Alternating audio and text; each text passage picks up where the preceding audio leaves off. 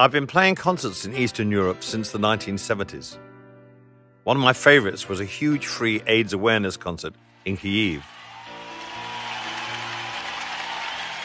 I pledge to you I will do everything I can to help the Ukraine with the AIDS epidemic. I will give you my time and our foundation's money to help those that are sick and to prevent this illness. It was all of those years ago that I pledged to raise awareness and help people living with the disease. And the Elton John AIDS Foundation has been doing so in Ukraine and across the region for over two decades. The Foundation was one of the first international organizations to support HIV services across the country. Through our work in the region, we've been deeply inspired by the resilience of thousands of Ukrainians we've met over the past 20 years. We are heartbroken and appalled to see the suffering of people in Ukraine today, including over a quarter of a million people living with HIV, as this conflict unfolds. Join us in wrapping our arms around Ukraine.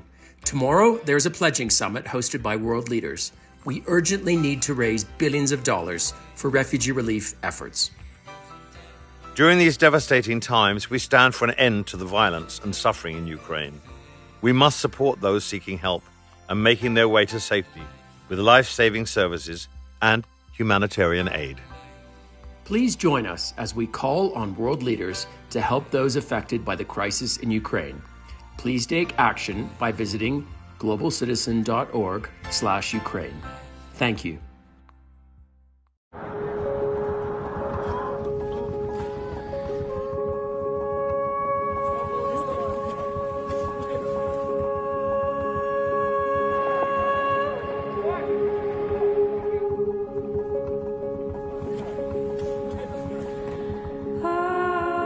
Stand up for Ukraine.